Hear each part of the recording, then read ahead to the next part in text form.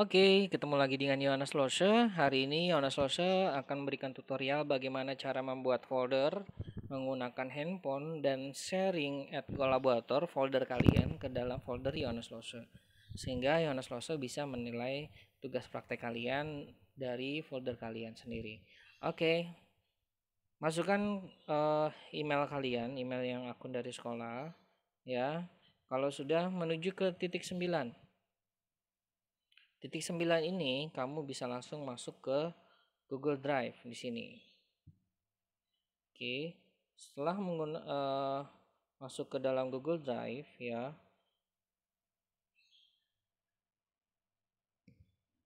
Oke, Los akan buka Google Drive-nya. Oke, di sini ada menu uh, tanda plus. Tanda plus di sini ada icon.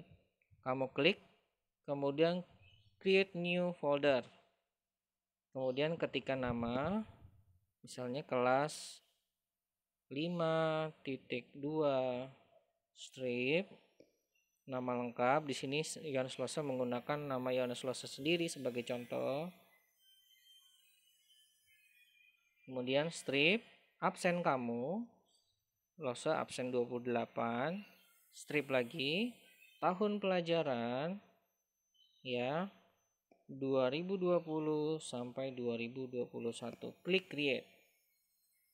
Oke, bagaimana caranya folder ini bisa di-share ke folder Yohanes Lose? Caranya klik titik tiga pada folder kamu di handphone, kemudian klik tombol share. Kemudian add people or group. Ketika nama email Yohanes Lose, Yohanes budi.sch.id gitu ya. Kemudian klik tombol klik tombol icon centang. Ya kemudian jadikan Yohanes Lose sebagai editor. Jika sudah kirim pesan. Yohanes Lose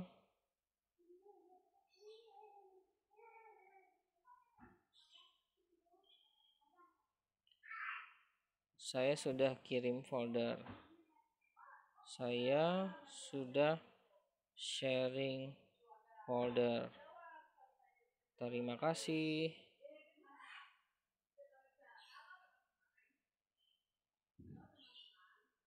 Oke, kalau sudah ada icon orang, gambar icon orang itu warna putih di folder kalian, artinya kalian itu sudah share folder dengan Yohanes Losa. Oke, sekian dulu tutorial yang sederhana ini. Terima kasih. Jangan lupa subscribe ya.